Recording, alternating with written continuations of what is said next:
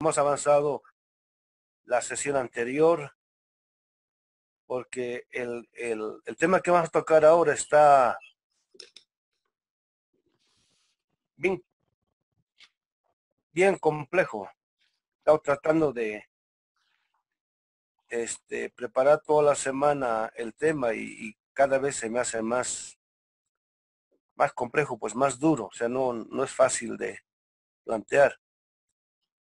Así como los habituales benjaminianos lo plantean, pues aparece sencillo, ¿no? Pero cuando uno intenta problematizar de modo más uh, profundo, la cosa se complica mucho, ¿no? Entonces, a ver, para, a modo de empezar algunas preguntas al respecto. Ese va a ser el tema, ¿no? La, en general, este, Agamben, eh, Taubes y especialmente Lowy dicen de que, eh, por ejemplo, el enano con narguile, vestido a la turca, son indicios de que el enano es el apóstol Pablo, ¿no? Este, y en, ese sentido, mucha gente eh, ha llegado a la conclusión de que es el apóstol Pablo, pero ese va a ser el tema de ahora. Vamos a ver en qué medida se puede llegar a esa conclusión o no. Yo tengo mis dudas. Yo no estoy diciendo ellos están mal y yo estoy bien. Yo no estoy diciendo eso. Lo que dicen en general esta gente, y es, por ejemplo, el caso de Agame, no es un recién llegado, es un tipo que ha trabajado a fondo, en serio, la cosa. Lo mismo Lowy, ¿no? Y hasta Hinkelamer llega a esa conclusión. ¿No? Pero yo creo que la cosa es más complicada, más compleja. Entonces, es lo que yo quiero abundar, ¿no? Pero no porque, digamos, estemos tratando de aclarar exactamente quién es ese, ese enano. Mi problema es cómo podemos trabajar nuestro propio enano. Ese es mi problema. Evidentemente esto implica tener claridad respecto del enano al cual se refiere Benjamin, ¿no? Pero, este, independientemente de eso, por decir, vamos a suponer que el enano es eh, Pablo de Tarso. Entonces, habría que establecer la conexión entre eh, Pablo, el apóstol Pablo, y el matrimonio histórico, ¿no? Y en la versión de este, Michel Louis llegaríamos a la teología de la liberación. Pero ahí también hay problemas, entonces diríamos, bueno, entonces es lo que hay que desarrollar. Pero cuando yo hago la insistencia en la reflexión desde nuestro horizonte cultural propio,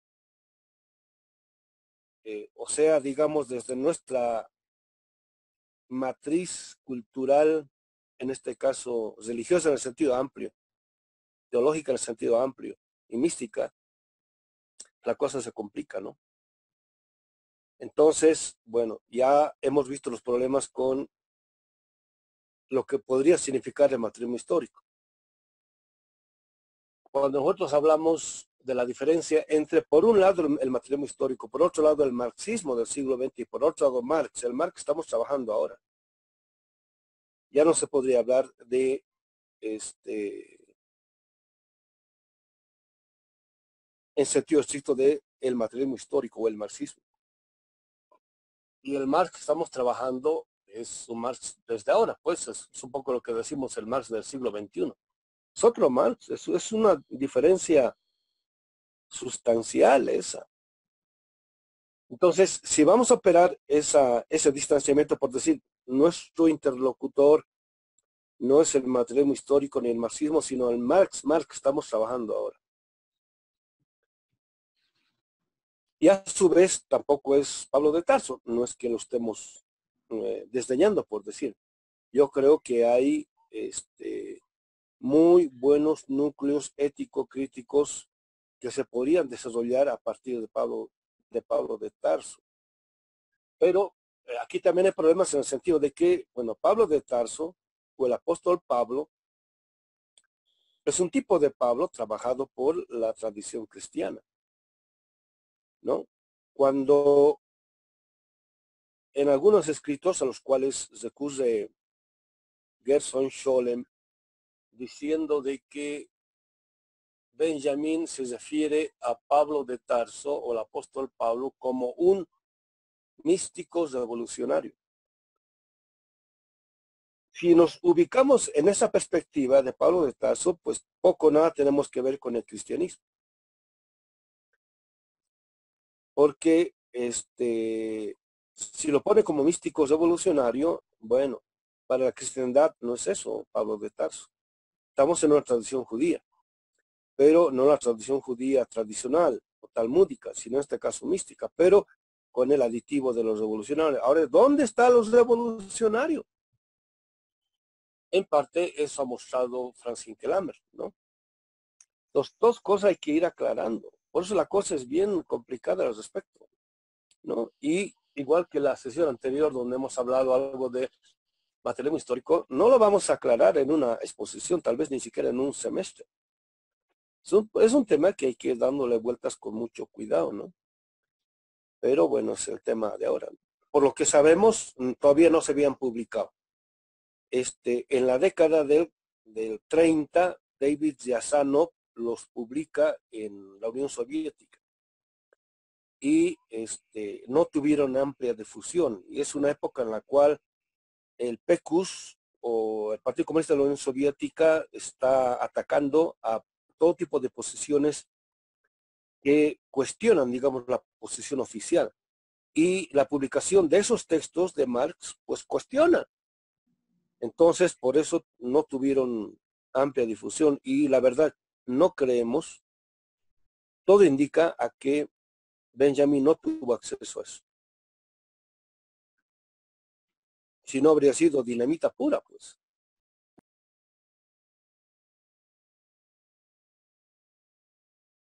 Yo lo he leído y me ha parecido bastante helénico, ¿no? O sea, está en la tradición cristiana. Está bien, o sea, yo no digo que esté mal. Lo que pasa es que meterse en la tradición, no diré judía, sino místico judía, está la cosa compleja. No mm. está nada sencillo. ¿No? Este, después de haber leído los textos de Agamben, siempre me han, dejado un mal sabor de cristianismo.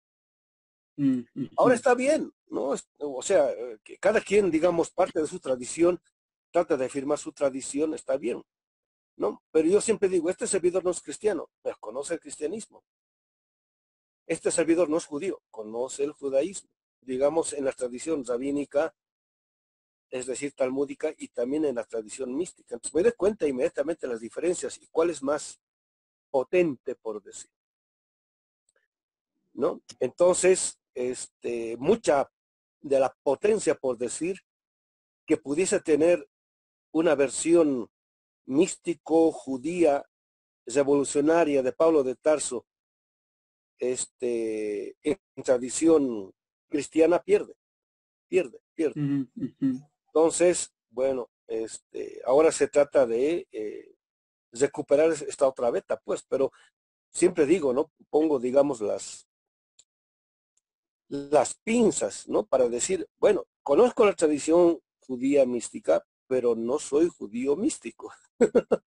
no, entonces más estoy tratando de partir de la tradición mística de los pueblos originarios. No sé si se entiende la, la, complejidad, ¿no? Entonces siempre tratando de lo que todos los místicos hacen, siempre parten de lo local, nunca desprecian lo local. Y a partir de eso se ponen a dialogar con distintas tradiciones. Entonces, si nosotros somos consecuentes con eso, tenemos que partir de lo local, pues. En el caso de ustedes, los mexicanos, tienen que partir de la, de la tradición mayo-azteca en el caso mío de la tradición andino-amazónica. ¿No? Y a partir de ahí dialogar con lo propio. Perdón, dialogar con estos otros grandes místicos. Y hay grandes coincidencias. Hay grandes coincidencias. ¿No? Estaba viendo este, este, este las reflexiones que hace un místico ¿cómo se llama?, judío, eh, la década del 60 más o menos, y muchas de las cosas que decía me parecía muchísimo, me sonaba muchísimo y hasta parecía repetición de este, muchas cosas místicas también que decían los pueblos indios norteamericanos, ¿no? Entonces, este, mm. En esas coincidencias, por decir, es donde uno puede ir desarrollando de mejor modo la perspectiva acorde, mm. digamos, a nuestro, a nuestro tiempo. Yo no sé si se han enterado más de las noticias relativas al COVID, ¿no? Este, cada vez va apareciendo más evidencias de lo que desde el principio suponíamos nosotros. Esta es una manipulación. No solamente es una fabricación de el, o desarrollo de un tipo de virus, en este caso, digamos, el, el, el virus no es de origen natural, ¿no? Sino que es una modificación, ¿no? Y este, lo, han, lo, han, lo han difuminado, por decir, eh, con segundas intenciones, pero este, ¿de dónde tenemos este tipo de sospecha? Porque inmediatamente al gran relato, digamos, eh, moderno, europeo, occidental, no le creemos. Digamos, la primera evidencia fuerte, digamos, es lo que pasó con las dos torres en el, en el 2001, después lo que pasó con la guerra de Irak, o sea, puras mentiras, pero digamos, macro mentiras con las cuales se ha producido un relato a nivel mundial. Y ahora estamos sumamente preparados para eso. Pero eso no es novedoso en el sentido, digamos, de las grandes fake news que produce el capital este, transnacional. Mi problema es cuando la izquierda, el 99% de la izquierda ha caído en el mismo discurso de este, las grandes transnacionales. Y diciendo, a ver, de que esta es la venganza de la naturaleza, o hay que respetar las leyes de la naturaleza para que ella no nos cubre venganza. Es eso, es el mismo relato, el mismo macro relato que la modernidad tiene de la naturaleza. Cuando uno parte de los pueblos originarios, la naturaleza es, o sea, jamás puede, como toda gran madre, jamás puede pensar en vengarse. ¿Qué es eso? ¿No? Entonces, este, acá es donde podemos darnos cuenta de la necesidad de salirnos de los macros relatos, de los grandes, uh, de las big words, de las big pictures, de los modelos ideales trascendentales de la, de la modernidad para acceder a las realidades de otro modo. Y ahí están los, realmente los evolucionarios. Cuando, cuando vemos o entendemos o captamos lo que este tiempo histórico no capta ¿no? Entonces, este, pueden estar aconteciendo grandes sucesos que pueden modificar toda la realidad y no darnos cuenta. Ese es el problema. ¿Cómo nos damos cuenta de eso, no? Es un poco también lo que está pasando en Estados Unidos. En apariencia todo el pueblo está en las calles, pero es un pueblo que no tiene conciencia política, ¿no? Y lo más probable es que las grandes élites, estos dos grandes grupos que están peleando, digamos el grupo de los Clinton y el grupo de los que están detrás de Trump, que son, bueno, un deep, un deep state tradicional y un deep state que quiere constituir ahora en dominador, manipulen todo esto, ¿no? Y hasta Stulin dice, estamos a las puertas de una guerra civil. Bueno, este, está difícil eso, ¿no? Porque si se llega a una guerra civil eh, sería una balcanización y está difícil que suceda eso. Entonces, bueno, ¿cómo nos salimos de los macros relatos? ¿No? Es, ese es el, el problema que está detrás. Pero evidentemente, como no somos modernos, no desechamos estos análisis a la Agamben, a la Taubes, a la, ¿cómo se llama? El Michael Lowe, inclusive eh, ¿no? Al principio, quienes tienen la oportunidad de este, estar en el website de Hinkelhammer, se llama La Maldición eh, del la maldición que pesa sobre la ley, o, la maldición de la ley, así se llama el, mm. el libro. Y ahí está un muy buen argumento de por qué para Hinkelhammer el enano es Pablo de Tarso. Está bien. Y un tiempo yo lo he, he eso, ¿no? Más o menos entre el 2008 que salió el libro y el 2011, 12. Pero cuando ya empecé a meterme a cuestiones de mística judía, y empecé, ya empecé a tener mis dudas y sospechas, ¿no? Entonces, este, bueno, con pinzas, ¿no? El, argumento de, de, Agamben está bien, pero es la tradición cristiana. Entonces, ahora veamos cómo se ve el problema desde la tradición mística judía, ¿no? O sea, no es la misma de Levinas, ¿no? Mm. Este, y es, y es otro tipo de tradición. Pero también, digamos, aquí con el sesgo, digamos, de la tradición mística de los pueblos originarios, podemos darle, ¿no? ese sentido, digamos, Benjamín es un gran aliado para nosotros, ¿no? Eso es, eso es. ¿no? Entonces hay que tener claridad siempre al respecto. Bueno, entonces volvamos al tema. Yo no sé cómo me va ahí porque yo le estaba dando vueltas y vueltas pues, siempre mi problema es cómo compartir esta, estas reflexiones que estamos haciendo, ¿no? Entonces, este, el problema ahora es aclarar esto que dice Benjamin en la última parte de la tesis. Este, en este caso el materialismo histórico, podrá vérselas con cualquiera si toma su servicio a la teología, la cual, como es sabido, soy pequeña y fea y no debe dejarse ver de ningún modo. Entonces, ah, en la tesis 2, cuando está hablando acerca de lo que significa o lo que podría significar la felicidad. Eh, insiste Benjamin en que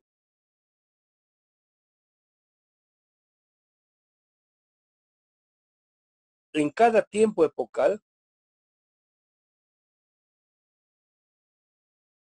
hay una idea o comprensión de lo que sea felicidad, y no es lo mismo. La palabra puede ser la misma. Ahora, no solamente eh, epocalmente o temporalmente, sino también hasta geográficamente, por decir, ¿no? Un ejemplo ridículo que se me ocurre ahorita, ¿no? Comer en México con chile o con salsa puede ser un motivo de felicidad. ¿No? Y este, por decir, eh, uno está, un mexicano bien mexicano está enfrente de, de un plato delicioso, pero no hay nada de chile y no lo va a disfrutar tanto.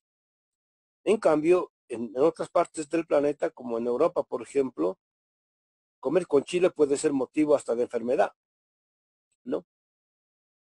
Entonces, este, con los conceptos en ciencia social, en filosofía, hay que tener siempre eso muy, muy presente.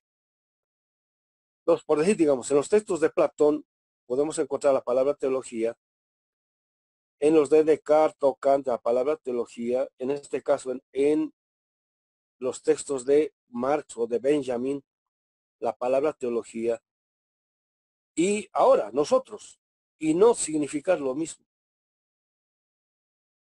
Entonces, eh, hay que tener conciencia de eso siempre a cada paso, ¿no?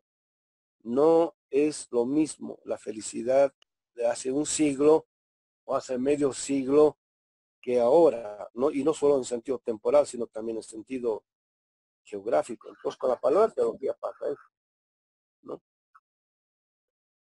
Entonces, en opinión de este servidor, la palabra teología está siendo utilizada en sentido amplio. Ahora, un poquito, digamos, para ponernos en contexto en la discusión, lo que estaban ya los compañeros aludiendo, dice teología, no dice teólogo, por ejemplo. ¿No? Ahora, como Benjamín escribe no diré místicamente hablando, sino que tiene ese tipo de matices. Entonces, muchas de sus frases no se puede tomar de modo literal. Si yo fuese un analítico, solamente a partir del el texto podría decir, Benjamín no se refiere en absoluto a Pablo de Tarso porque no dice un teólogo, sino dice la teología. Y Pablo de Tarso es un, es un teólogo, no es la teología. ¿Listo? Pero ese tipo de lecturas no, no van con, este, con Benjamin. Son los, no sé si conocen el caso de Zab Kaduri. Es un místico ah, judío de origen iraquí que murió como hace 10 años, creo. Eh, un tipo eminente este, que era judío iraquí y creo que la década del 20 del siglo pasado se fue a Israel y ahí desarrolló toda su obra, ¿no? Entonces era un, cabalista así impresionante y que al final de su vida dijo que no había hablado del Mesías, el Mesías se le había presentado y se había revelado su nombre, todo eso. Entonces él dijo, voy a, voy a revelar el nombre, pero después de mi muerte. Entonces escribió un, un pequeño manuscrito y este, él dijo que se lea el manuscrito un año después de su muerte. ¿No? Entonces, este, un año después de su muerte, según sus deseos, eh, abren el, el escrito este, ¿no? Y es un texto así como los místicos escriben, pues, digamos, en claves, ¿no? Entonces, este, por decir, digamos, sol, no dice literalmente en el texto el nombre del Mesías, sino que no recuerdo muy bien este, lo que lo que dicen. Creo que es cada que empieza una frase, la primera letra, si, si se juntan las primeras letras de las primeras frases de cada, digo, las primeras letras de cada oración, se puede este, deducir el nombre. Y, eh, o sea, literalmente no dice nada, sino que va sugiriendo. Y ese es el lenguaje. Entonces, en este caso, nosotros no podemos tomar la palabra teología de modo literal, ¿no? Sino, digamos, ¿qué es aquello que sugiere? ¿Qué es aquello que está detrás? ¿No? Que sería, digamos, el segundo o tercer nivel de lectura de una lectura ah, mística. ¿no? En el caso de Zab Kaduri, pues fue, ahí, ahí pueden entrar al internet y ahí cualquier cantidad de información al respecto. Dicen que cuando revelan el nombre, dice que decía Yeshua. O sea, no dice Jesús, no dice Yeshua. O sea que el nombre de el, Mesías era Yeshua. Este, y hubo un gran revuelo, o sea, así después de dos mil años que los judíos están esperando al, al, Mesías y de pronto había, sido el Mesías cristiano, pero este, cuando uno toma, ¿cómo puedo decir? Las, los presupuestos que están detrás, en este caso de la tradición de la cual procede el nombre de un personaje. Si una cosa es decir Jesucristo y otra cosa es decir Yeshua HaMashiach.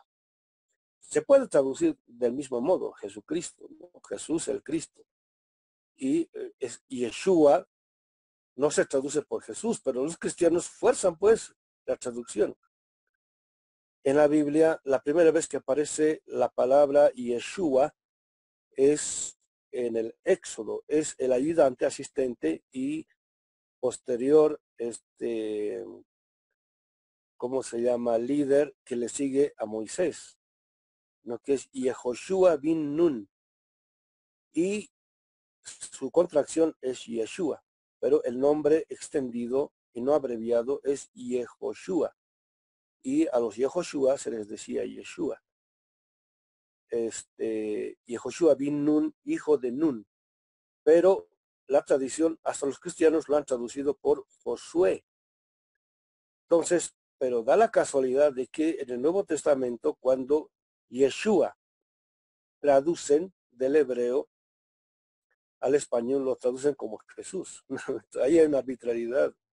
Bueno, no es una mera arbitrariedad, hay una serie de cosas ahí medio complicadas, graves, que muchos cristianos no, no, sí, Yeshua. Pero, como ahora se sabe, una cosa es desarrollar el mensaje del Nuevo Testamento en la perspectiva de Yehoshua ben Yosef, Ha-Mashiach. O sea, el este, Yeshua, hijo de José, el Mashiach, o el Mashiach ben Yosef. ¿no? Entonces, cuando uno parte de esta forma de comprensión, deduce cosas distintas de las que el cristianismo ha deducido. Y cuando uno parte directamente la, del nombre Jesucristo, deduce otro tipo de cosas. Entonces hubo todo un gran revuelo ahí, hasta al, hijo de Zab Kaduri le obligaron a que negara de que ese fuese un texto de su padre, ¿no? Que va a estar diciendo de que Yeshua o que el Mesías es el, es el Yeshua del, Nuevo Testamento, ¿no? Y, tiene que ver con la comprensión, con la tradición, todo eso. Y ahora otros hacen otro tipo de lecturas, pues. O sea, no hay una, una lectura única, sino que hay varias formas de lectura. Entonces, ¿cómo podríamos entender la palabra teología? Aquí, ¿no? Otra vez. Este podrá habérselas con cualquiera si toma su servicio la teología, la cual, como es sabido, es hoy pequeña y fea y no debe dejarse de ver de algún modo. La teología, principios del siglo XX, está en literal descrédito. Ahora, esto en el ámbito intelectual. La modernidad es antiteológica. Por eso es constitutivamente secular. Empieza todo su proceso afirmando la negación de la existencia de lo divino y o los dioses. ¿no? Es una reflexión sostenida en, en la obra de Marx. Marx dice explícitamente, necesita negar la existencia de los dioses celestes para dejar intactos a los dioses terrestres, que por la secularización aparecen como si no fuesen dioses, pero que en la realidad actúan como si fuesen dioses. ¿Por qué? Porque definen las condiciones de posibilidad de la vida y la muerte de los seres humanos y también de la naturaleza. Entonces, el, mercado, por ejemplo, o el capital o el dinero, que es uno de esos dioses fetiches, ninguno de ellos aparece como Dios, pero actúa como si fuese un Dios, o sea, en el sentido de que define, pues, define políticas tendientes a la vida o la muerte de grandes sectores de la población y en parte destrucción, digamos, de la naturaleza. Pues por eso eh, ella es pequeña y fea antes era omnipresente, por decir. Este, la teología estaba presente especialmente en Europa en toda dimensión de la realidad. Digamos, desde las cúpulas,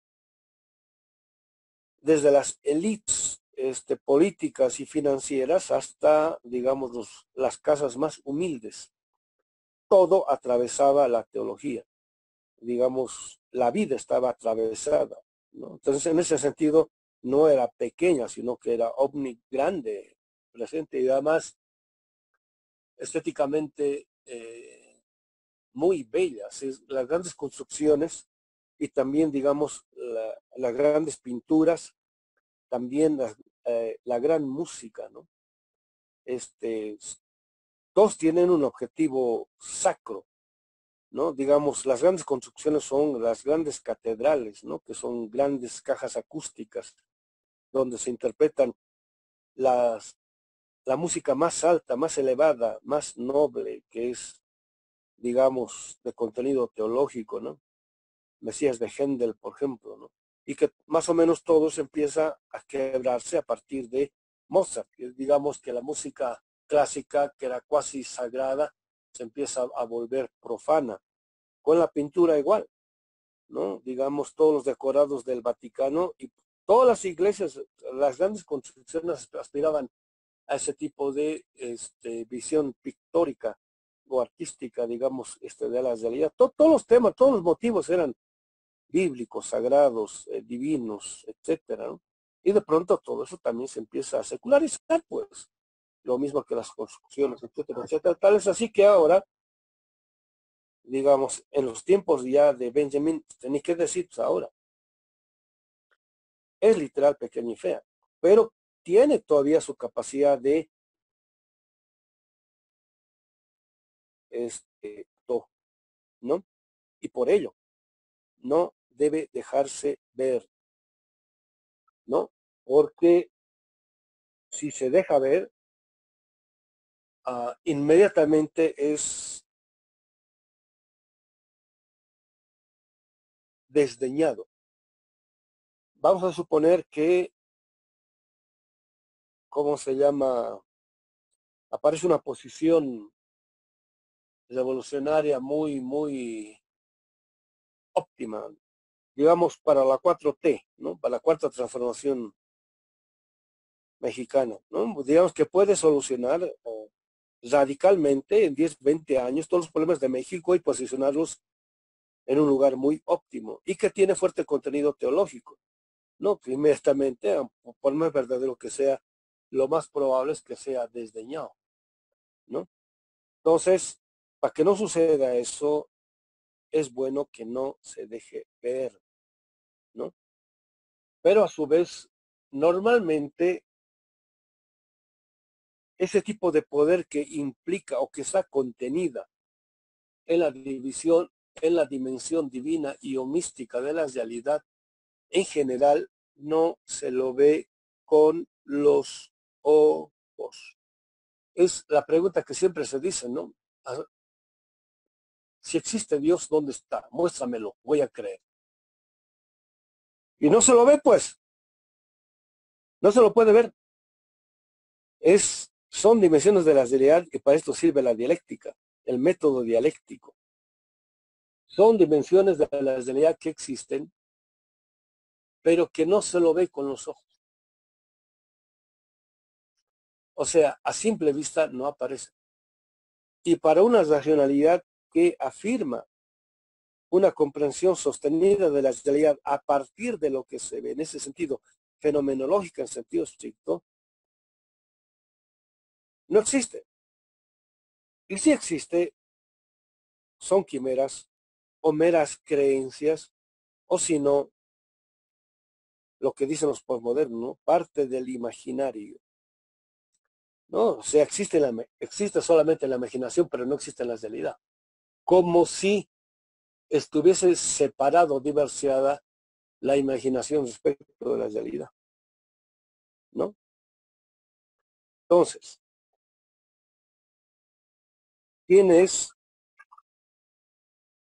este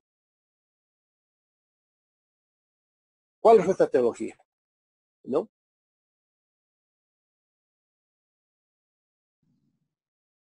Dice Benjamin, perdón, Gerson Scholl, no solamente en historia de una amistad, sino el anterior semestre he llevado al curso y he leído son textos están publicados por la editorial Trota. Uno se llama El misterio de este mundo.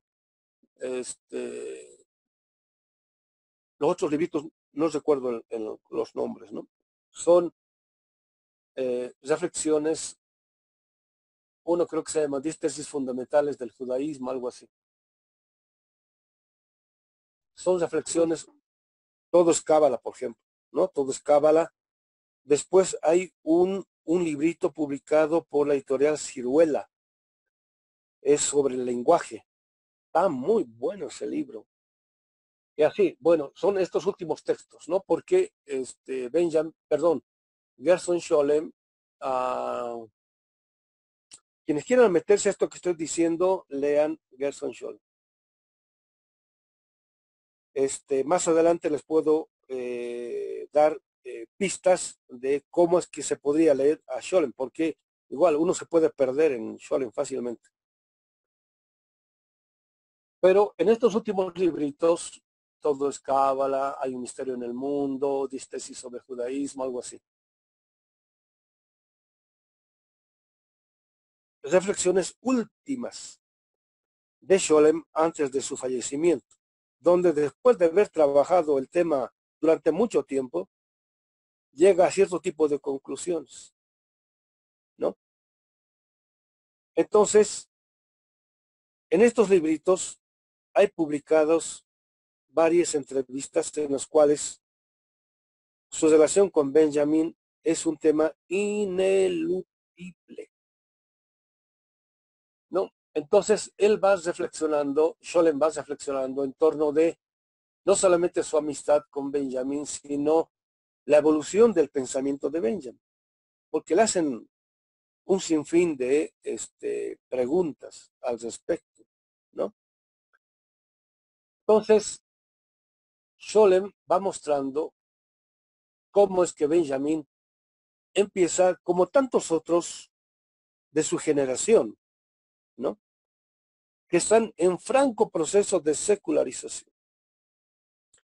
pero que durante la República del Weimar, toda la década del 90 y especialmente en la década del 30, empiezan a darse cuenta de que secularizarse quiere decir dejar de ser judío. O sea, negar su cultura. Eso quiere decir modernizarse. Modernizarse quiere decir secularizarse. Para ser alemán, o sea, moderno, hay que dejar de ser judío hay que negar la propia cultura, en el sentido de que es inferior, es atrasada, es particular, e, etcétera, etcétera, ¿no? Es mera creencia, mera superchería, y ellos están más allá de todo, etcétera, etcétera, etcétera. El problema es cuando eh, viven ellos en la República del Weimar, del Weimar las consecuencias de eso. Que independientemente de que un judío se haya secularizado o no. La modernidad, en este caso, la racionalidad violenta de la modernidad, el racismo inherente a la modernidad, el colonialismo inherente a la modernidad, ¿no? encarnado en este caso por el movimiento fascista, niega sistemáticamente la humanidad de un tipo de cultura. ¿No? Y aunque uno, que es el, caso de muchos judíos que han participado en la Primera Guerra Mundial como alemanes, han ido a la, a la Primera Guerra Mundial no como judíos, sino como alemanes, han sido condecorados, todo esto. Este, ellos dicen, nah, yo soy alemán, hijo de alemanes, evidentemente de ascendencia judía y he estado en la Primera Guerra Mundial y he sido condenado, a, a, mí no me van a hacer nada. No, nos hacen igual o peor. Entonces, cuando ven las consecuencias de lo que significa secularizarse en un mundo estricto que está en franco proceso de modernización, mucha gente como Scholem o como Benjamin y en parte blog empiezan a volver a la tradición con fuerza. El caso de Germán Cohen, por ejemplo, habiendo sido un kantiano, uno de los más eminentes kantianos alemanes, ah, junto con Casir y otra gente, ¿no?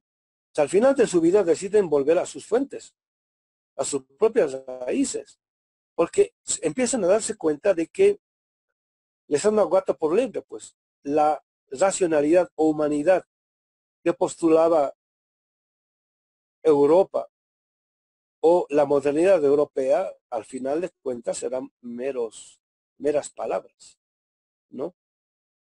Entonces deciden volver a, la, tradición con fuerza. Y en el caso de, en el caso de Cohen, por ejemplo, este, se nota que él vuelve a las fuentes en tanto libros.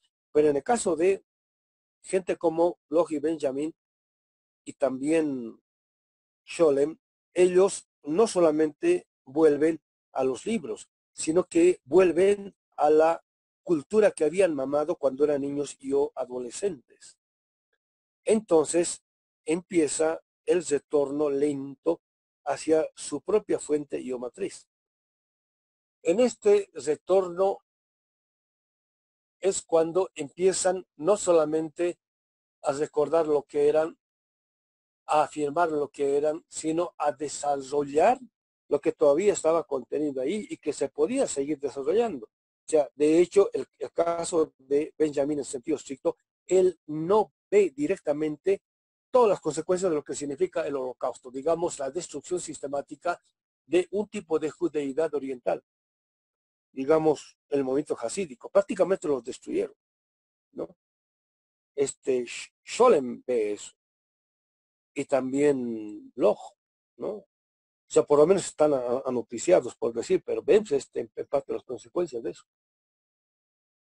Entonces, en el caso de Benjamin, empieza el tránsito, por decir, de una posición más o menos secularizante a una posición eh, teológico-mística no religiosa en el sentido institucional de la palabra.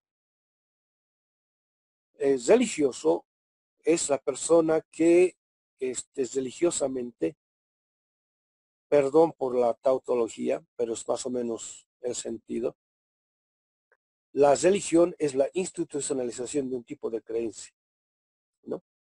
Por ejemplo, este, un católico o un protestante es religioso cuando sagradamente va a, la iglesia o a la sinagoga a celebrar los rituales, ¿no?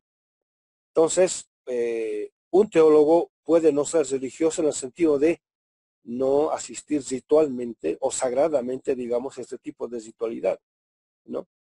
De hecho, este Scholem, el mismo cuenta, siendo, digamos, gran estudioso de la mística judía, él no iba a las, así, digamos, meses, ¿no?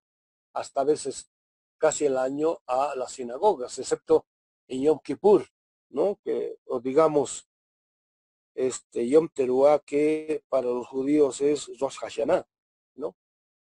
O digamos, el momento de la celebración de la Pascua, digamos. Pero los, Shabbats habitualmente no los celebraban, ¿no? Tenían una vida más o menos normal, etcétera. Entonces, este, recuperan este tipo de dimensión teológica, pero ahora lo que quiero, ¿cómo se llama?, destacar, ¿no? En el caso de esta generación, lo teológico no está separado de lo místico. En este tiempo histórico en el cual ahora vivimos nosotros, los teólogos no se reconocen necesariamente como místicos. Es más, muchos teólogos no son místicos, es más, reniegan de la mística. Porque la teología es la dimensión racional, por decir, como desarrollo de una posición religiosa. Entonces, ahora se puede entender a la mística como separada de la teología. Pero en el tiempo de Benjamín no. Eso quiero que se entienda bien. ¿No? Este, el místico ha sido o es teólogo, pero el teólogo no necesariamente ¿no? Por ejemplo, Ratzinger, un gran teólogo, pero con la mística no tiene absolutamente nada que ver. ¿No? Este, no sé si se entiende esto que quiero mostrar. Entonces, por eso hay que tener en cuenta las implicaciones o el contenido, digamos, de, la, de las palabras en el caso de gente como Benjamin. O sea, no es una palabra secas. Es una palabra que tiene otro tipo de implicaciones a las cuales hay que prestarle bastante atención. Entonces, la teología no es la teología tal y cual entendemos ahora, es una palabra que implica asuntos místicos. En el caso de Sholem, eso es sine qua non, o sea, una evidencia de hecho. Y todo este tipo de reflexiones que estoy diciendo lo estoy tomando a partir de Sholem.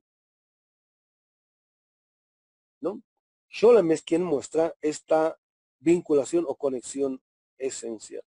Por ejemplo, en la historia de la teología, ¿no?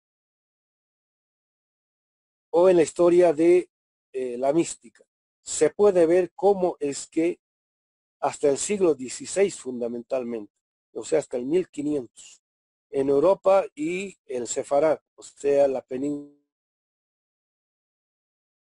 este, es como se le llamaba a la península ibérica. Le llamaban así los judíos, el Sefarad, ¿no? Que es una palabra que viene de eh, Sefarim, de ahí vienen los sefarditas. Sefarim quiere decir los manuscritos. ¿No? Este, el sefarad sería, viene del sefer. El sefer quiere decir libro. O el escrito, o la escritura. Eso quiere decir sefer. Entonces, el sefarad es el lugar de los escribientes o escritores. En este caso, eh, de este, de la cultura y o lengua judía, en este caso fundamentalmente de la Torah y los textos sagrados en torno de la, de la Torah. ¿no? Entonces, en esta historia se puede ver cómo es que todos los que quieren estudiar teología tienen que estudiar filosofía este, todos los que quieren estudiar teología, ¿no? ¿Qué quiere decir esto? Que para ser un teólogo, un buen teólogo, hay que estudiar filosofía. Y la filosofía aquí está por debajo de la teología. Es la filosofía pues, está identificada con la lógica, la gramática, la escritura. Es una herramienta para ser buen teólogo. Entonces, para ser teólogo, primero tienes que estudiar filosofía. Después estudias teología. Después de estudiar teología, recién estás preparado para la mística. ¿No? O sea, fíjense las escaleras, ¿no? Primero eres eh, filósofo, después teólogo, después de eso místico. ¿No? Entonces, todo místico, para ser místico, tiene que ser teología. Y han hecho filosofía, por eso en general los místicos de los filósofos se, ríen. Y cuando me he enterado de esto, yo he empezado a revisar y tienen motivos, compañeros. Los místicos pues raíces de los filósofos. En serio, tienen varios motivos. Este, en general, los, para los filósofos, lo que dicen los místicos, este es, eh, ¿cómo se llama? Casi indescifrable. Pero cuando los místicos leen los textos de los filósofos, eh, les dan cátedra o, les, dan la vuelta fácilmente. Este, cuando me he enterado de esto, también me he dado cuenta de mis ignorancias filosóficas, pues. También por eso me he metido a este tipo de ámbitos, ¿no? Entonces, en el tiempo de Benjamín todavía existe esta conexión entre teología y mística. Entonces, por eso es que, fíjense, ¿no? Cuando dice este Benjamín, o Sholem dice que Benjamín dice de que para Benjamín Pablo es un judío místico revolucionario. Cuando con esta clave yo agarré la carta a los romanos, porque me llevé unas sorpresas, compañeros. No, realmente es un texto místico. O mejor, se lo puede leer en clave teológica sin ningún problema. Cuando se lo lee en clave política, no, aparece otro texto. Pero cuando se lo lee en clave místico, teológico, política, es un texto revolucionario. Ahora, ¿quién tiene esa clave, compañeros? ¿No? Entonces, para leer en clave mística hay que tener el macro categorial místico, pues. Pongo un ejemplo, ¿no?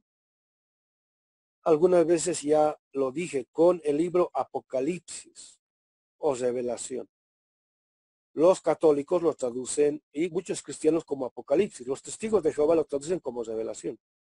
La, la, palabra Apocalipsis, el libro de Apocalipsis, el último libro del Nuevo Testamento, es de origen griego, ¿no?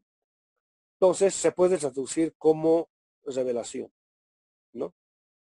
Entonces, cuando uno va a la palabra hebrea de Apocalipsis, la, la palabra es Kabbalah. O sea, el libro de Apocalipsis es un texto cabalístico. Y quien no tiene el marco categorial del pensamiento cabalístico judío, a ese libro llamado el Apocalipsis le hace decir cualquier barbaridad menos lo que está contenido ahí. Esta evidencia que le ha pasado de largo a generaciones y generaciones de cristianos, imagínense a cristianos que se han enfrentado a la carta a los romanos. ¿no? Entonces, se podría decir de que este, el Apocalipsis es un texto místico. Pero eso no se podría decir directamente en la carta a los romanos. Se puede decir uh, que es un texto teológico. Es un texto teológico, sí. Tal vez de los más eminentes del Nuevo Testamento. Pero también es un texto filosófico. Y quien me lo ha mostrado eso es Francis Kellam. Ese texto está discutiendo directamente con muchas otras cartas con con los griegos, con la filosofía griega. Pero a su vez está discutiendo políticamente con la teología judía de su tiempo. Pero a su vez místicamente está enunciando el nuevo reino. Entonces, quien tiene esta tridimensionalidad categorial puede aproximarse no solamente a la carta a los romanos como un texto místico judío revolucionario, sino puede aproximarse al autor de esa, de esa carta a los romanos, que es a judíos romanos, no es a los romanos, es a, judíos que viven en Roma. De ese modo. Entonces tener ese tipo de comprensión. Otra vez, entonces la palabra teología no es solo teología secas. Ahora, si es el apóstol Pablo, el, el teólogo, digamos, que está atrás, no es el teólogo o el apóstol Pablo o Saulo de Tarso a secas, sino que es un eh, apóstol Pablo o un Saulo de Tarso que por un lado es judío, ahora no es judío de nuestro tiempo, no es judío medieval, es un judío del tiempo del Mesías. O sea, eso también hay que ubicarlo, hay que situarlo cultural, históricamente. Es un judío es un judío revolucionario, es un judío que está en contra de Roma, está en contra de la concepción que de ley ha producido el pensamiento judío, pero también romano, que es de origen griego. Por eso es, es una discusión multidimensional, pero a su vez con contenido místico. Y entonces, si tenemos estas, estos datos, por decir, sobre la mesa, y vamos a texto de Agamben, por ejemplo, o al de, o al de Michel Louis, pues se nos quedan cortos. No sé si se entiende lo que estoy queriendo decir. Entonces, por eso detrás de esa palabrita hay mucha amiga que a la cual hay que darle vueltas. ¿No? Ahora, hasta aquí, bueno, la discusión es interesante cuando queremos entender a Benjamin en tanto que Benjamin. Está bien. Pero compañeros, estamos en el siglo XXI. No somos judíos, tampoco europeos. Bueno, ¿qué hacemos? Muchas veces en la década del 90 y principios de este, el 2000 quedó cursos de Levinas en México. Muchos alumnos Espero que no sea el caso ahora. Cuando les mostraba esta beta, en el caso de Levinas, los cursos de Levinas que daba, no solamente se ponían a investigar a fondo eh, tradición de pensamiento judío, sino que algunos pensaban que la única forma era convertirse en judío. Yo no digo que esté mal. Yo no digo, compañeros, ¿cómo se van a volver judíos? No, no, no, yo no estoy diciendo eso. Lo que pasa es que si nos convertimos en judíos, esa condición de negar nuestra propia tradición.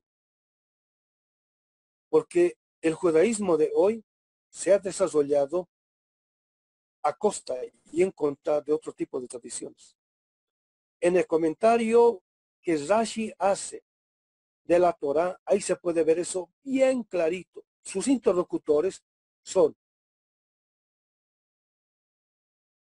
siglo X en adelante, porque es, es un libro político en el sentido de está siendo escrito cuando, cuando ya empezaron las cruzadas y los musulmanes.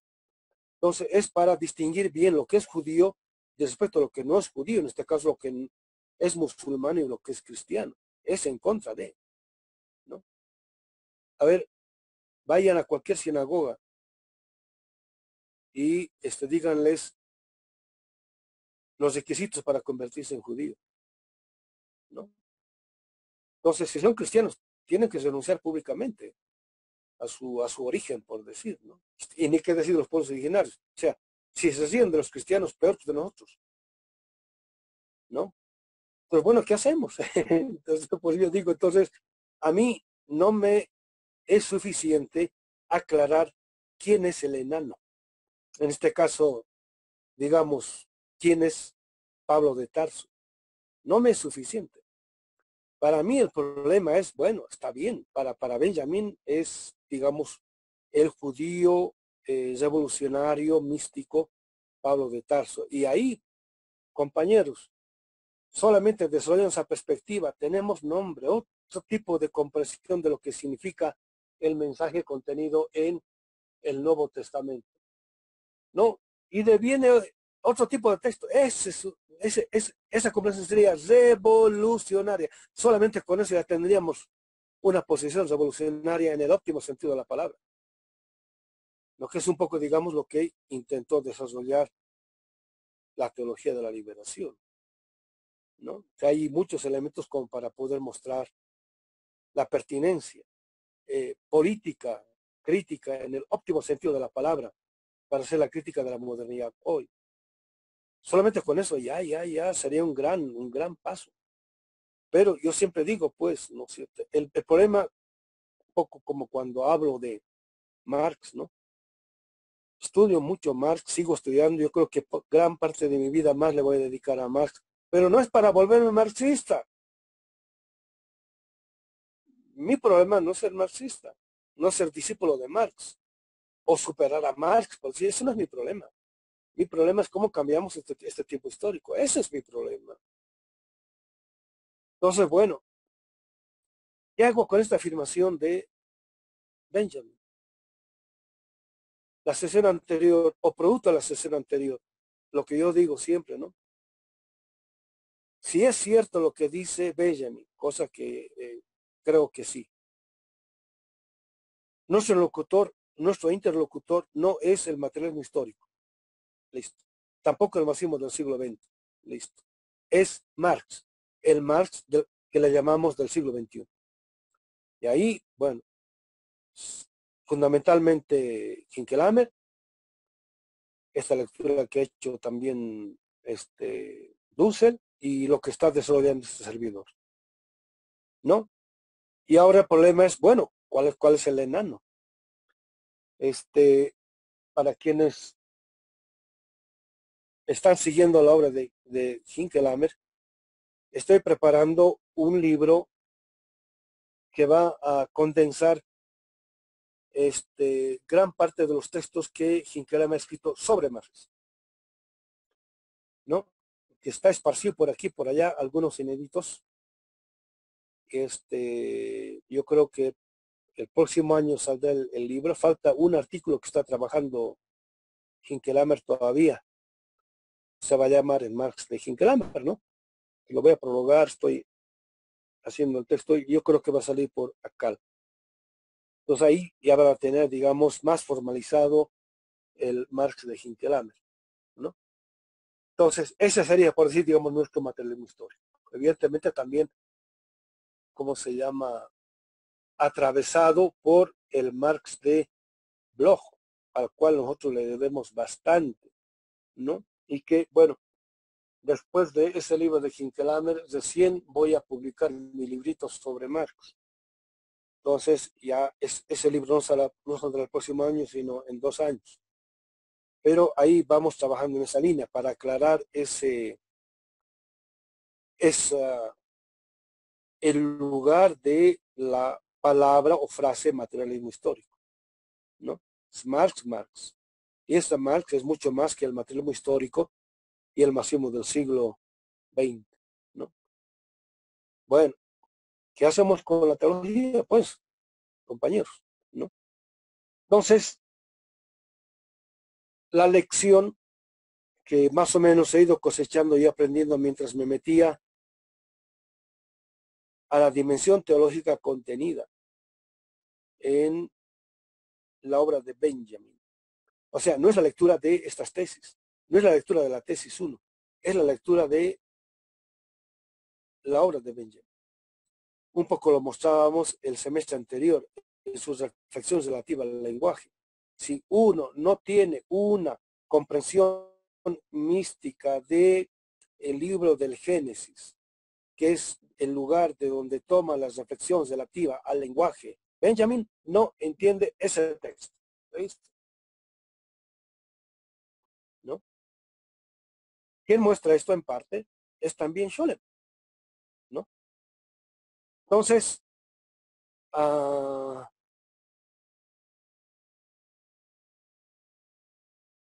mientras más me iba metiendo a esta parte contenida en la obra de Benjamin, que lo desarrolla Scholem, Scholem muestra que, él dice, gran parte de mis, de mis reflexiones o preocupaciones teórico-místicas han sido, eh, bueno, no dice inspiradas, ¿no? Dice han sido motivadas, impulsadas, han sido alentadas, es la palabra, por mis diálogos con Benjamin. Benjamin me decía, no, dice, esto muy bueno, esto tienes que desarrollar, esto tienes que desarrollar. Él decía, yo tenía muchas intuiciones, ¿no? Y le platicaba, me decía, no, eso es lo mero mero, hay que desarrollar eso. Y dice, posteriormente yo fui desarrollando todo eso, ¿no? Que tal vez si Benjamin no le hubiese dicho eso, nunca lo hubiese desarrollado. a veces uno tiene ideas respecto a las cuales uno mismo no está seguro si son buenas o malas, y viene alguien, digamos, interesante, le dice, eso está muy bien, tienes que desarrollar, y uno lo desarrolla y al final pues dio en el clavo. Entonces, mientras iba viendo esos desarrollos teórico-místicos que hacía Scholle, no solamente iba comprendiendo más la obra de Benjamin, sino que se me iba aclarando el universo crítico que quería mostrarnos Benjamin. Y que los maestros ya no han llegado a eso, que tampoco van a llegar, por decir. Ya me daba cuenta de que eh, no solamente estaba avanzando, sino que mi comprensión estaba empezando a adquirir otros matices, pero siempre estaba en este servidor, esta espinita, ¿no? Bueno, pues que lo que pasa es que yo no soy judío, no soy europeo, pero además estoy en el siglo XXI. Pues, ¿Qué hago? Con la obra de Levinas no había tanto problema. Pero con la obra de Benjamin, de Benjamin sí se me hizo problema. Entonces, no solamente descubrí, o sea, a ver, desde el principio yo tenía claro de que el pensamiento andino es completamente místico, ¿no? Sino que lo que empecé a hacer es redescubrir el contenido cognitivo, presupuesto o contenido en el pensamiento místico andino-amazónico. Y cuando empecé a incorporar, a ver, ¿y cómo se podría ver lo mismo que ven Benjamin desde esta otra perspectiva? y se me abría el panorama de otro modo. ¿No? Ahora, compañeros, ojo, este servidor nunca les va a decir, tienen que volverse judíos, o tienen que volverse eh, budistas, o tienen que, no, no, no, o inclusive tienen que volverse andino-amazónicos, no, no, no, nunca les va a decir eso. O sea, nunca les voy a, nunca me voy a otorgar a, a mí mismo la capacidad o posibilidad que ustedes tienen de elegir lo que quieren ser y hacer. Eso ya depende de ustedes. Es elección libre de cada uno de ustedes. O sea, por eso nunca les voy a decir, no es que tienen que volver, no, no, no. Lo que sí, si uno dice que es marxista y parte del reconocimiento de que todo tipo de pensamiento, por más etéreo que sea, por más formal que sea, por más trascendental que sea, tiene siempre una materialidad que como base le permite no solamente su existencia, sino su desarrollo. Eso dice Marx, lo estoy diciendo ahora en el lenguaje que estamos desarrollando. Si uno dice eso, uno tiene que afirmar en primera instancia la materialidad contenida o presupuesta en uno mismo cuando dice que quiere pensar este tipo de problemas. Porque si uno hace abstracción de eso, ya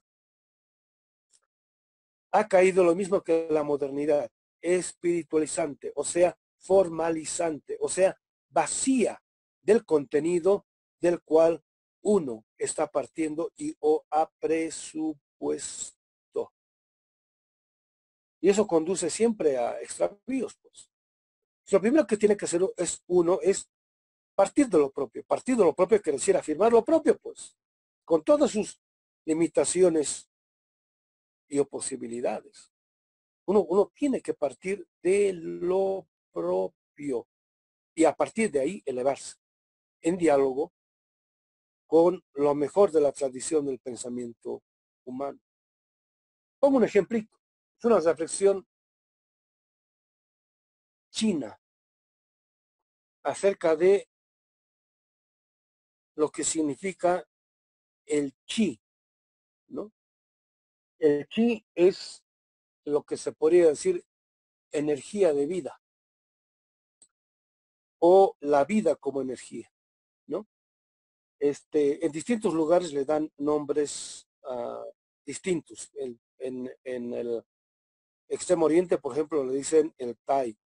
En el mundo andino le dicen en Aymara es Hamasa, que quiere decir fuerza, ¿no? O energía, en este caso de vida. Entonces, en esta reflexión que hacen los chinos a partir de lo que significa el chi, que es la energía de vida primordial. O sea, todo lo que es y existe en toda la realidad tiene chi, ¿no?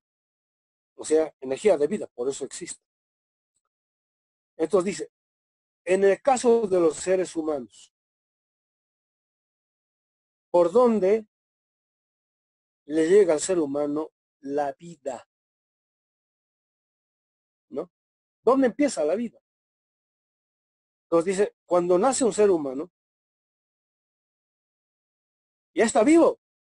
Ya ha estado viviendo hace nueve meses.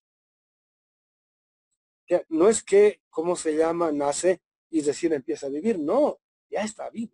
Entonces dice, ¿y a través de qué le llega o le llegó la vida? A través del embrión.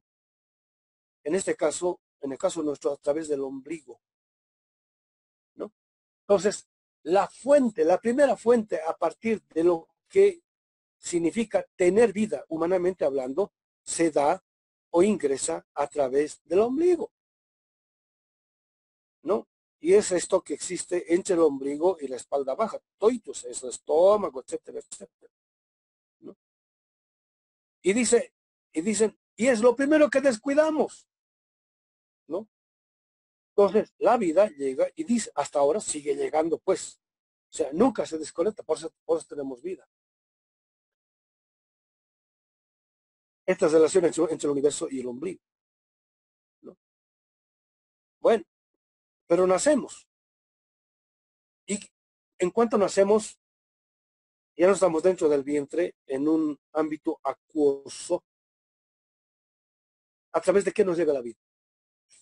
A través de la respiración, ¿no? Las fosas nasales. Así respiramos. Y gracias a que respiramos, empiezan a actuar nuestros pulmones.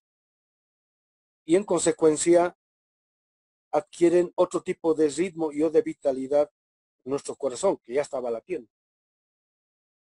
¿No? Y que tenía fuente de vida, digamos, en todo aquello que le ingresaba a través del cordón umbilical. Pero ahora se complementa con ah, el aire y o el oxígeno. Entonces, dicen, ¿no? Respiramos a través de las fosas nasales. Y después de eso, comemos, en este caso mamamos, a través de la boca. Todavía no vemos, ¿no? Y escuchamos, pero todavía es, digamos, sin sentir, ¿no? Entonces la pregunta, ¿no? ¿A través de dónde le llega al cuerpo el aire y la leche o el alimento que comemos? a través del cuello. Y otra vez dice, no, es lo que más descuidamos. Y después de eso, cuando hacemos una abstracción de todo eso, pensamos que todo depende del cerebro, y es la modernidad. Entonces, para, para hacer todo eso, es una, ¿cómo se llama? Es una comprensión, no solamente antropológica, sino también del universo. Pero en general hacemos abstracción de el origen de la fuente a partir de la cual se da la vida, que es el chi, y en este caso, digamos, la relación entre el ombligo y el universo. La hemos perdido, en ese sentido hemos perdido una materialidad. Entonces, cuando parto de esta otra comprensión, o esta otra descripción, esta otra big word, por decir, big pictures, me relaciono con la realidad de otro modo, pues. Entonces empieza a cuidar lo que antes no cuidaba. Todos los jóvenes, digamos, el 90% de los jóvenes, ¿acaso cuidan la alimentación, compañeros? ¿No? Yo cuando era joven igual, pues, era un total, ¿cómo se llama? Ingenuo, digamos, de la alimentación. Ya pensaba que este, el cuerpo era un mecanismo. Hacía la Descartes. Ahora se me horroriza de cada cosa que leía o que recuerdo, digamos, de, eh, de lo que dice de cada acerca del cuerpo o de la corporalidad humana. ¿No? Y eso como contenido informativo se actualiza de una forma, de un modo en el cerebro. Y entonces por eso es que la filosofía moderna puede pensar toda la realidad como si al cerebro le fuese indiferente tener o no corporalidad humana. Y en este caso, le es indiferente esta dimensión de la humanidad que produce la fuente gracias a la cual es posible la corporalidad humana, que es el campo, el indígena, el campesino, que es la dimensión más castigada. Que recién ahora alguna gente está empezando a darse cuenta de que había sido lo más importante. Pero las racionalidades no se cambian de la noche a la mañana. Mucha gente dice, la modernidad, no. Bueno, el neoliberalismo ha llegado su ocaso. Bueno, tal vez como proyecto político, pero sus instituciones siguen operando, están vivitas y coleando. Que yo sepa, el Fondo Monetario Internacional no se ha cerrado, al contrario, sigue sigue ejerciendo presión para hacer préstamos, etcétera, etcétera. Sigue teniendo poder y fuerza para estar cobrando intereses, deuda, etcétera, etcétera. Lo mismo el Banco Mundial. Estados Unidos, con toda su crisis, sigue haciendo sus, sus fechorías.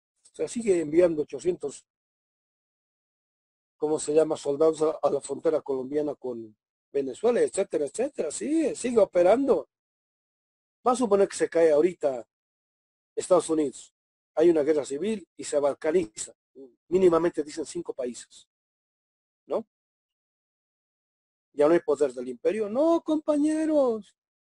De esta crisis, los más grandes ganadores son, son las grandes transnacionales este, digitalizadas, ¿no? Como Facebook, Twitter, eh, Google, han crecido, han ganado, están ganando, y las farmacéuticas ni que se diga, y todo con complicidad explícita de la Organización Mundial de la Salud.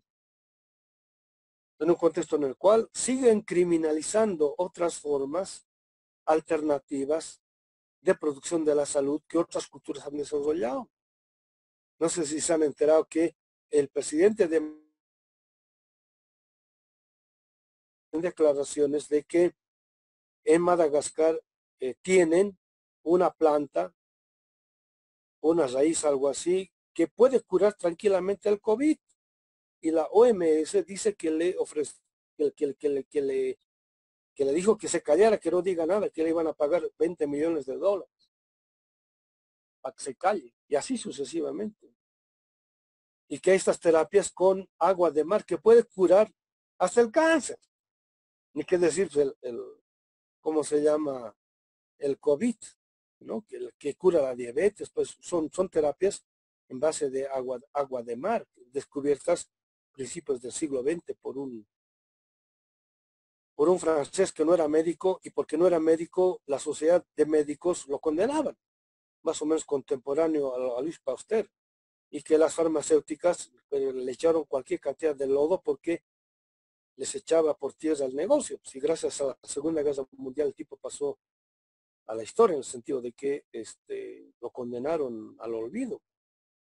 Imagínense la cantidad de agua de mar que hay en el planeta con la cual se puede, dice que tiene todos los minerales que necesita el, la corporalidad humana para estar sana y que, ¿cómo se llama? Puede eh, alcalinizar el cuerpo de tal modo que muchas células enfermas las truene ese rato. ¿No? O sea, no las destruye, sino que las sana. Eso quiere decir. Y así sucesivamente. Cambia completamente la perspectiva. Pues. Entonces, cuando llego a este tipo de reflexión, de pronto, en diálogo con la mística, ya no solamente judía, sino ahora de, otras tradiciones, me doy cuenta de la pertinencia y necesidad de hacer una transición a este tipo de pensamiento místico. Toditos son holistas. Toditos afirman que cada célula es una síntesis del universo y que no existe, es irreal pensar que existe algo de modo individual o independiente o al margen de las ideas, etcétera, etcétera. Todos son no listas. Por eso digo que el método ideal para el pensamiento místico es el dialéctico y no por casualidad ha sido el más combativo, perdón, el más combatido al grado de ser prácticamente destruido y que, fíjense, yo siempre veo entrevistas de gran gente, mucho, mucha gente de izquierda, marxistas, todos sus, análisis no presuponen la reflexión dialéctica. O sea, el método dialéctico. No presuponen, así de simple. Y por eso caen en lo mismo que se quiere criticar, que en este caso es la modernidad. O sea, nómbreme un caso de un, de un pensador de colonial que hace análisis o reflexión, mejor dicho, de carácter dialéctico cuando está hablando de la sería. Nómbreme un caso, uno, uno, uno les voy a agradecer. ¿Y por qué? Porque en última instancia todos son modernos. Todos son modernos. ¿Qué quiere decir? No incorporan en la visión de la realidad el componente místico inherente a la realidad que han desarrollado nuestros pueblos negados sistemáticamente por la modernidad. Entonces, si esto es así, ¿quién debiera ser nuestro enano? ¿Ve? Entonces, una pregunta nada más. No es de la pregunta, esto es una reflexión, no estoy haciendo una respuesta, compañeros. Respecto a la primera en parte, bueno, en parte hemos dado respuesta a las dos preguntas, pero ahora vamos a este, tratar de aclarar de mejor modo. Históricamente el cristianismo, se el que conocemos ahora, se desarrolla a partir del siglo III o IV con Constantino, donde se da una formalización en el sentido de la producción de una ortodoxia a partir de la cual se puede decir que eso no el cristianismo. Eh, en la obra de este, por ejemplo, en parte Mollman, también Bloch y algunos otros, ya se puede ver, especialmente en Hinkelamer,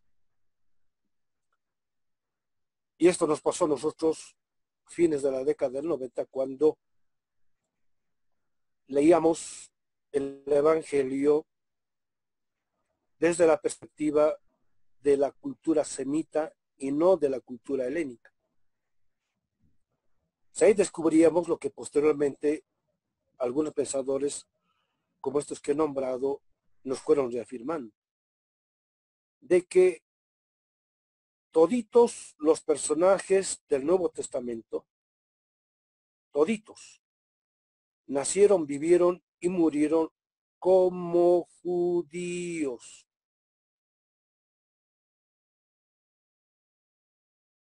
Como judíos semitas, de cultura semita. Muchas veces insistí en la necesidad de que hay que tener una comprensión de la guerra de los macabeos para entender el tiempo de Yehoshua ben Yosef el Hamashiach.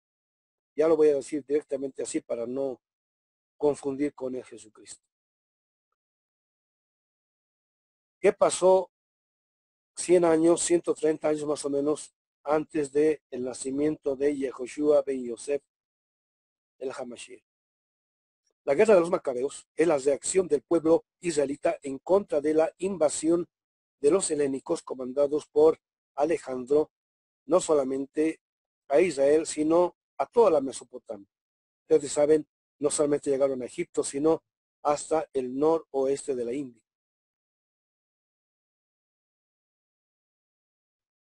Helénicos, especialmente con Antíoco, uno de los generales de Alejandro, les obligan a los judíos a convertirse o a vivir a la forma de vida helénica. Y poco a poco les van quitando derechos, este, costumbres, les, van prohibiendo, por ejemplo, hablar en hebreo. Este, las escuelas tienen que ser en griego. Ahí es cuando se traduce la traducción de los 70, ¿no? La Biblia hebrea este, lo traducen al, al griego, ¿no? Para que lean la Biblia en griego y este, los generales de Alejandro no son tontos, son discípulos de Aristóteles, toditos. Y ellos saben de que no es nomás leer una traducción, sino de que en el contenido de un tipo de lenguaje está contenido un tipo de comprensión de la realidad. Los judíos se dan perfecta cuenta de eso. Por eso que para ellos leer la, la Torah en griego era una este, herejía, porque el griego era una lengua no solamente profana, sino politeísta, o sea, pagana, hecha para una cultura, para el desarrollo, la comprensión de una cultura pagana, ¿no? Y el hebreo para la comprensión de una cultura o en este caso, digamos, religiosidad este, sagrada, ¿no? Y se daban cuenta, por eso es que este, ellos no, no, no aceptaban. y así, em, les empezaron a prohibir el Shabbat. Entonces, la guerra de los macabeos es una reacción de un pueblo que quiere afirmar lo propio, en este caso su forma de vida, en contra de una forma de vida que está destruyendo la vida de los israelitas tal y cual habían desarrollado hasta ese entonces. ¿no? Entonces, ya no es una lucha militar o política, sino que es profundamente cultural, liderada por los grandes sacerdotes eh, que oficiaban en torno del templo. En el tiempo del Mesías, esta comprensión de la realidad política y cultural está Lo que hacían los griegos, ahora lo están haciendo los romanos. Entonces, Grecia ya había sido un imperio al cual habían sido capaces de derrotar los israelitas. En cambio, con los romanos está difícil. Entonces, el tipo de lucha tiene que cambiar. ¿No? Entonces, los judíos se oponen a los romanos como cultura, como pueblo, como civilización. Eso hay que tenerlo bien claro. Entonces, Yehoshua ben Yosef es un judío, no solamente la tribu de Judá. Eh, había, históricamente a la gente que está viviendo este, en torno de, de Jerusalén les dicen los, de la casa de Judá los que viven al norte los de la casa de Israel. ¿No? Entonces son doce tribus, pero independientemente de cualquier tribu que sea, si están viviendo en torno de Jerusalén, se les dice de la casa de Judá. Y si viven más al norte, se les dice de la casa de Israel. ¿No? Entonces, por eso en sentido estricto los judíos no son judíos, sino les dicen judíos porque es como en el DF, le dicen, independientemente donde han nacido, si viven en el DF son chilangos, ¿listo? O defeños, por decir. Es más o menos así. Pero lo que los caracteriza es una forma de vida, un tipo de religiosidad, un tipo de lenguaje, un tipo de cultura. Entonces, a los que afirman la cultura y religiosidad hebrea, israelita, o sea, semita, les dicen judíos entre los judíos o israelitas. Y a los que no viven conforme siendo judíos o israelitas, conforme a la cultura, a la religión y a la costumbre, les dicen griegos o helenizantes o romanos. Y es una forma de decir traidores. Cuando hablan de los gentiles, no es en sentido estricto la gente que no es judía, sino la gente que siendo judía se está paganizando, se está o helenizando o romanizando.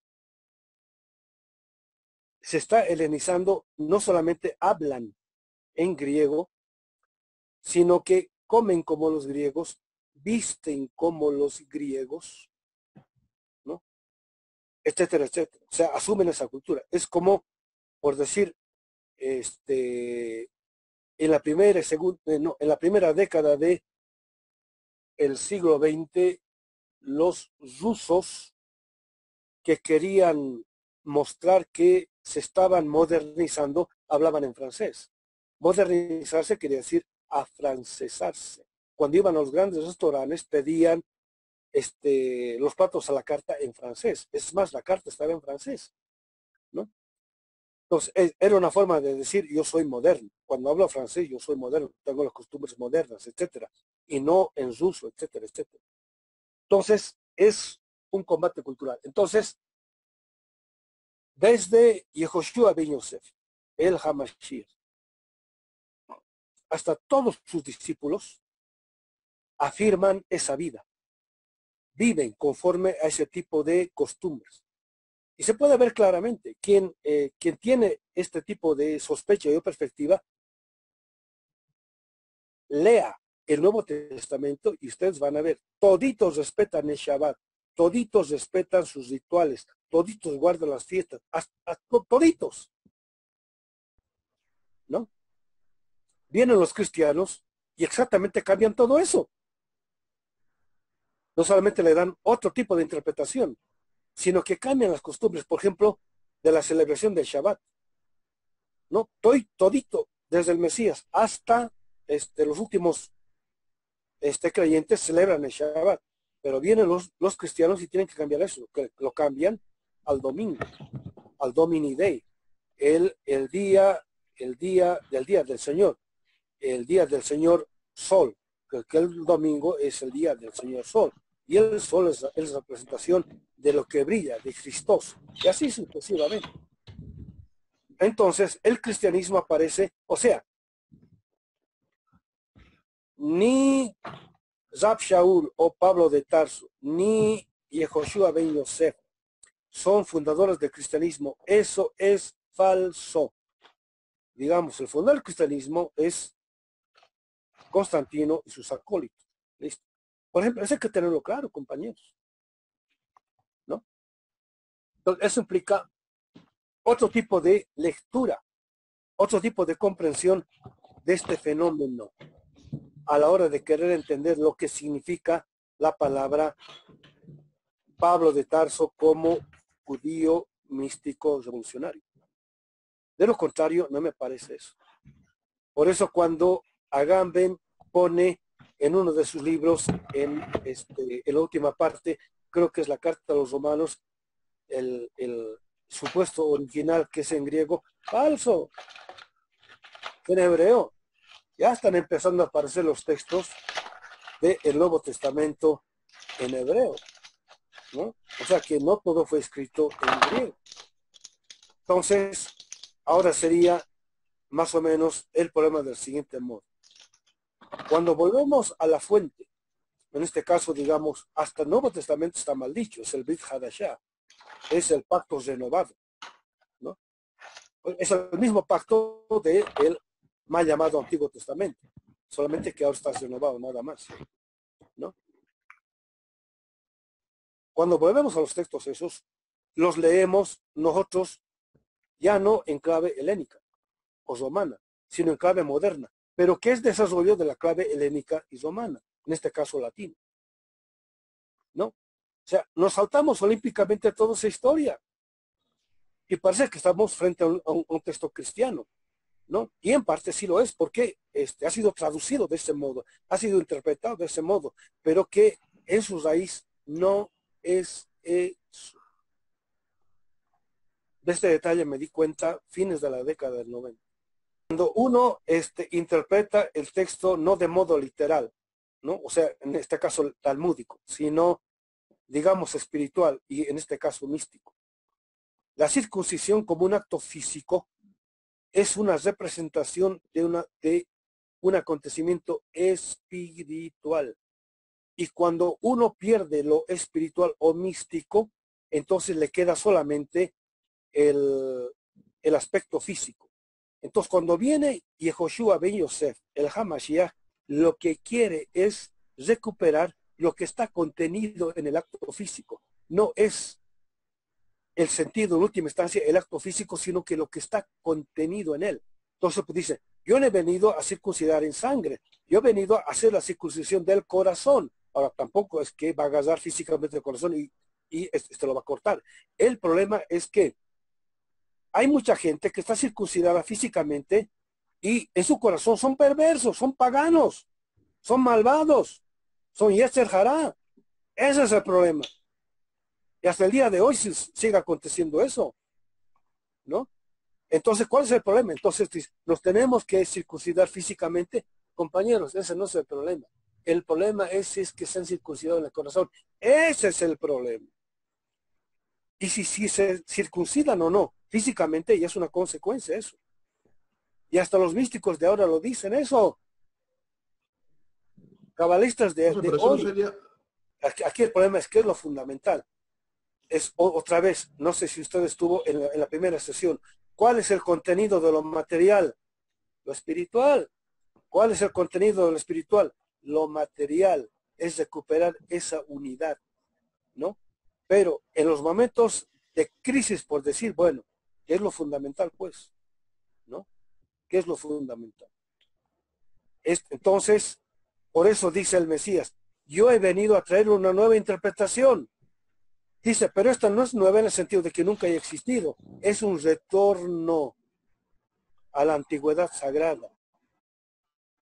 Cuando esta interpretación no se había perdido. Y que en el tiempo del el Mesías, los los doctores de la ley, los escribas y los fariseos lo habían perdido, porque todo era formal, en el sentido de que si respetas formalmente todo, ya estás bien. un respeto, digamos, que podían hacerlo los, los ricos, los pudientes, pero no los pobres, los que aparecían siempre condenados, ¿no? Entonces, es, es un retorno a aquello que es fundamental, a raíz, que es, digamos, en hebreo, a la cabana con la cual se hace eso, la intencionalidad del corazón con la cual se hace eso. Es un retorno a, todo eso. Y por eso es que eso, ese tipo de evangelio era para quienes formalmente no podían cumplir con todo ese tipo de requerimientos que escribas y fariseos habían empezado a imponer, que en última instancia eran formales, o sea, exteriores, este, materiales, sin contenido. ¿no? Es un retorno a eso pero no es para negar o despreciar lo material, sino es para darle su lugar. ¿no? Esto implica otro tipo de comprensión, obviamente. ¿no?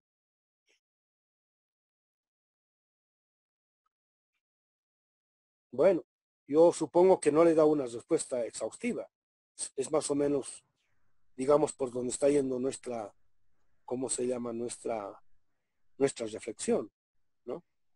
Y hay, inclusive los cuentos hasídicos, muchos ejemplos al respecto. El, que se me viene a la mente es uno de, está en los cuentos hasídicos de Martin Buber. Entonces, el cuento es el siguiente. En el campo hay un campesino es pastor que está recitando una oración que dice algo así como Señor del universo. Yo no sé orar, ni soy letrado, ni soy instruido. Pero si tú me pidieras que, que criara tus ovejas, yo lo haría de corazón y no te cobraría nada porque te amo. Esa es la única oración que está haciendo.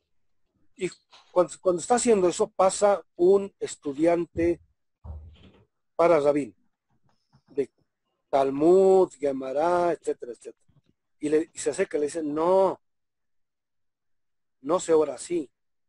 Este, se ora, mira, te voy a decir, y le, va explicando horas y horas el modo como tiene que orar, ¿no? Son los pasos, digamos, primero está la oración, de, la mañana, después del mediodía, después de la tarde, y así sucesivamente. Así se tiene que orar. Ahí, y se va, y el campesino ya no puede orar, pues, porque no conoce todo eso, etcétera, etcétera, que sí.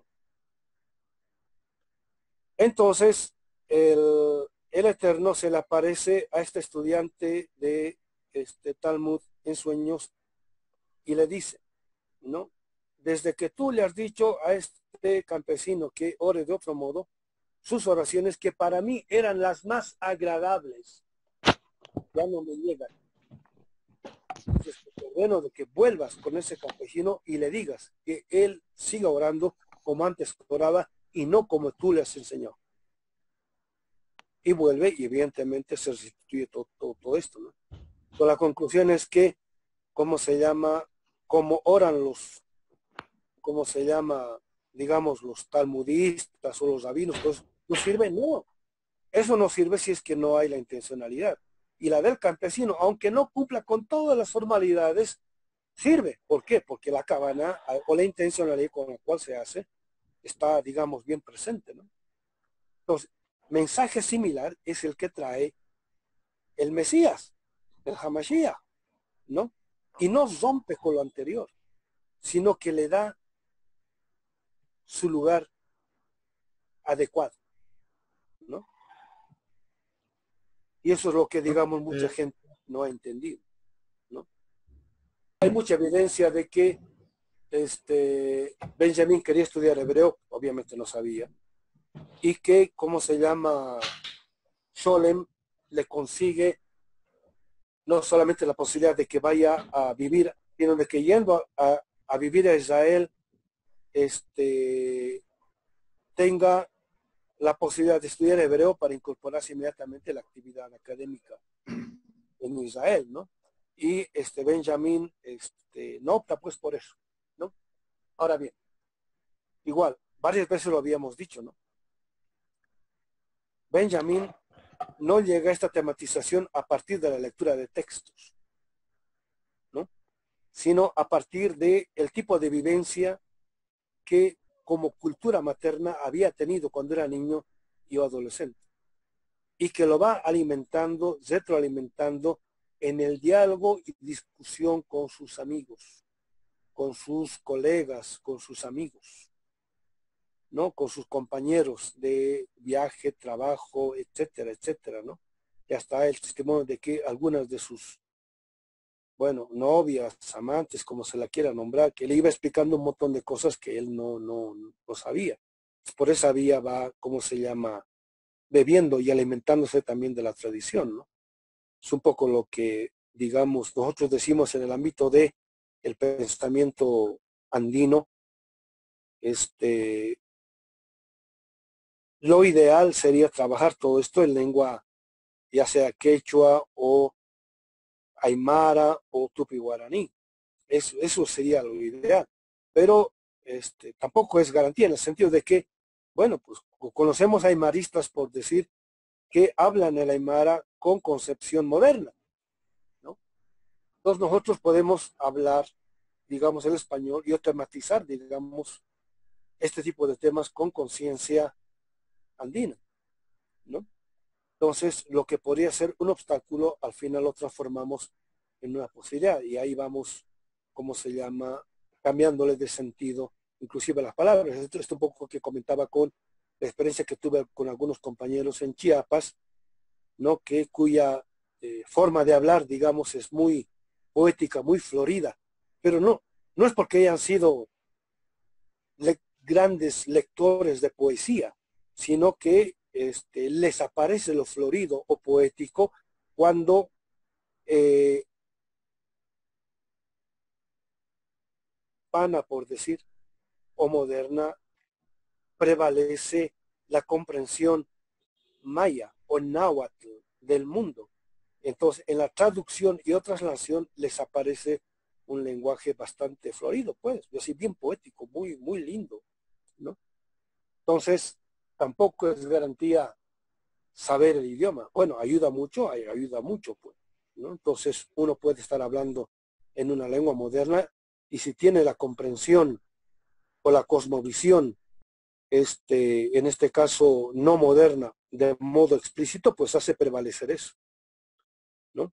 Y es el caso de, Benjamin, pues, ¿no? En las reflexiones del lenguaje, por ejemplo, eso es fundamental. Y, en él es explícito. ¿Por qué? Porque está haciendo prevalecer esto otro, ¿no? Y también en parte es para hacer inteligible todo este tipo de problemas a los que intuyen que en esta perspectiva hay eh, algo de sentido, ¿no? Que es un poco lo que a veces tengo discusiones serias con muchos eh, aymaristas, bueno, algunos alumnos que se reúnen en torno del el círculo de que les decimos los amáuticos. Son gente que tiene el, el aymara como lengua materna, ¿no? Y eh, son tan radicales que todo lo que piensan lo escriben en, Aymara, ¿no? Les digo, pues compañeros, esto está bien para los iniciados como ustedes, pero para nosotros que queremos participar en ese tipo de pensamiento, ¿qué hacemos? Y se trata de ampliar este universo de comprensión, ¿no? Bueno, al principio yo afirmaba enfáticamente que había que, que ocultar. Y si estoy empezando a hablar es porque eh, también un poquito hay que mostrarlo, ¿no? Pero no hay que mostrarlo del todo. Porque el enemigo, no, si les contara la capacidad que de ataque y destrucción tiene. El enemigo no es tonto, el enemigo es inteligente y se está viendo en esta, en esta pandemia cómo opera con sus instituciones a nivel mundial. ¿No? Tiene capacidad de impacto. Tal es así que hasta grandes pensadores, filósofos, disque de coloniales y demás, han caído en el discurso este. Sí, es impresionante. ¿No? Entonces, este, bueno, hay que saber ocultarlo y hay que saber mostrarlo. Por eso el, el juego de espejos, ¿no? Mm. Para ocultarlo. Pero eh, si Benjamin habla explícitamente de él, es porque se lo puede ver, pues. Se puede saber quién es explícitamente. Pero, digamos, mientras tanto, mientras sea posible, digamos, hay que jugar con este Spiegel. Más utiliza la palabra Spiegel en el sentido de espejear, cuando habla de el espejo en el cual este, el derecho moderno oculta o refleja y muestra al hecho económico, ¿no? Entonces, es un juego de espejo, espejea. O sea, es como cuando agarramos un espejo y reflejamos algo y queremos mostrar algo o si no, alguien enseguecerlo. Entonces, no es un espejo que está fijo. Entonces, es espejear. Hinkelamer eh, trabaja mucho esta idea en, en Marx. No es un reflejo fijo. Por eso dice, es mejor la palabra espejear, ¿no? Entonces, este, ¿cómo se llama? Al principio decía, hay que ocultar. Pero ahora, bueno, este curso es parte de que en parte hay que apagarlo, digo, hay que ocultarlo y en parte hay que mostrarlo, ¿no? digamos entre nosotros hay que mostrarlo, pero afuera hay que, hay que cuidarse del, enemigo, compañeros. El enemigo no es tonto, el enemigo sabe cómo operar, sabe cómo acallar, sabe cómo silenciar, destruir, etcétera, etcétera. ¿No? Muchas gracias, maestro. Bueno, compañeros, se nos acabó el tiempo. Espero que la clase haya sido productiva yo he trabajado toda la semana por el tema, como ustedes se dan cuenta, no se agotan, al contrario, problematiza más todavía, porque este, solamente he enunciado lo que significaría un Pablo de Tarso judío, revolucionario y místico. Este, bueno, ¿qué significa eso, compañeros? y habría que hacer un curso de por ejemplo, la carta a los romanos. ¿No? Y eso sería mínimo un semestre, sino un año. Porque ahí veríamos la densidad contenida ahí. Y yo les prometo, compañeros, si hacemos ese curso y después de eso se ponen a leer el libro de Agamben, muchos se van a matar de risa.